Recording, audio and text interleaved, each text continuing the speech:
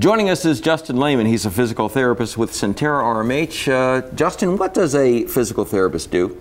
A physical therapist um, evaluates and diagnoses any type of movement dysfunction, um, any type of pain a patient may have, or even sees patients post-surgery. Okay, so why is physical therapy such an important part of the recovery process after an injury or surgery?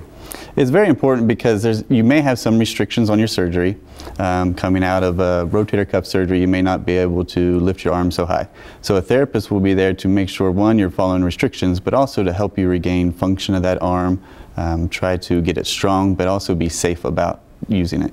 So there isn't any further injury as you're recovering. Correct, yes. Okay. Um, what kind of education and training do successful therapists have?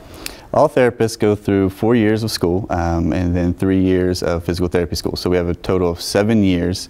Some may, um, it changed about 10 years ago.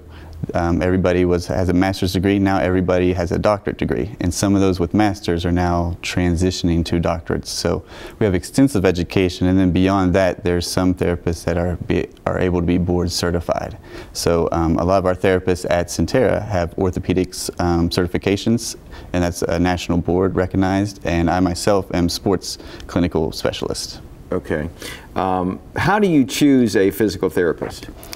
Um, talk to a friend. A lot of people have had physical therapy. Um, there's resources online. Every physical therapy um, place has a website, so you can go on and look up profiles. But it's important to find out because there are so many different avenues of therapy that you know if you need a orthopedic physical therapist, make sure that they have orthopedic background in them. Some people need a neurological physical therapist. So there's different types, so it's important to do your background work on who you're choosing as your physical therapist. Are those the two types, or how many types of physical therapists are there? Oh, there's multiple types. There's pediatric, there's um, geriatric, inpatient therapy, acute setting therapy. There's probably 10 types of therapists. So is there certain, are there certain questions you should ask depending upon your your your need or how do you actually or will you see that on the website when you're looking for a physical therapist? Usually if you find somebody's profile they'll have it listed. Um, there if you go to the american board of physical therapy association they will let you know who these specialists are. You can find names on there and what their specialties are in. Okay.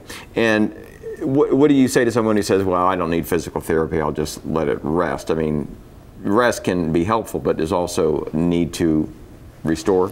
Yes, usually somebody's rest is not doing much at all, letting it just relax and not move it at all. It's very important to continue to move your arm, move your leg, whatever needs to be moved and not just let it rest because then you could start to lose mobility of that body part. All right, very good. Justin Lehman, uh, physical therapist with Sentara RMH, thanks for being with us. Thank you.